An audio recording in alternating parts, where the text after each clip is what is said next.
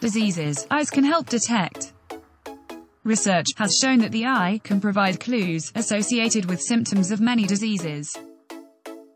Here is a short list of five diseases that can be detected by examining the eye. Number 1. Diabetes. If blood sugar rises too high, blood vessels located within the retinal blood supply network can swell and potentially burst, resulting in yellowish deposits, known as diabetic retinopathy. Early symptoms may include blurry vision, floaters, and color blindness. Number 2. Autoimmune diseases. Autoimmune diseases occur when an individual's immune system targets the healthy cells in the body and is unable to distinguish them from foreign ones.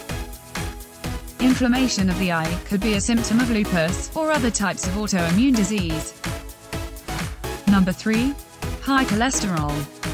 High cholesterol can limit blood flow and increase the risk of a heart attack or stroke. There are no obvious symptoms for this disorder, however if yellow or white rings appear around the eyes, it could be an indication. Another symptom may also include yellowish bumps on the cornea. Number 4. Cancer.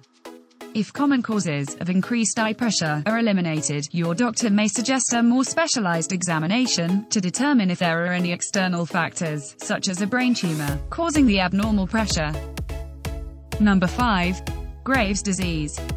Bulging or protruding eyeballs could possibly indicate a potential thyroid disease, such as Graves' disease.